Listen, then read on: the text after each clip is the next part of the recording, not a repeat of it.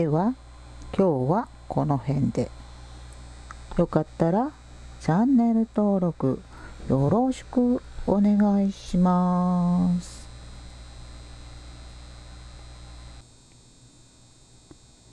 アルビノ同士で掛け合わしたから生まれてくるおたまさんはほぼアルビノ。その中でも10匹ぐらいは黒いおたまさんがいたのですが今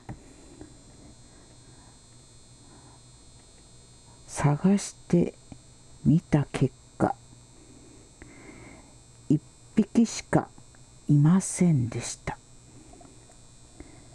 だからレアなおたまさんは最後の1匹隔離です。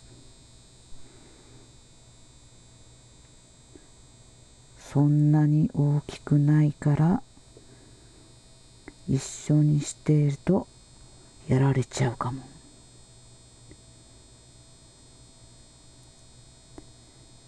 うまくカエルになってくれればいいんだけどね。以上です。